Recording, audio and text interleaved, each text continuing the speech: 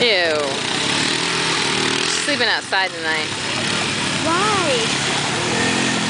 She'll get river clean.